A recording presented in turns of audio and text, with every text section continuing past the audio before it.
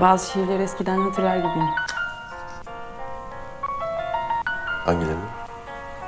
Bilmem. Kuyu muydu? Senin için yazmıştım. Çok çektirmiştim sana. Gençlik işte.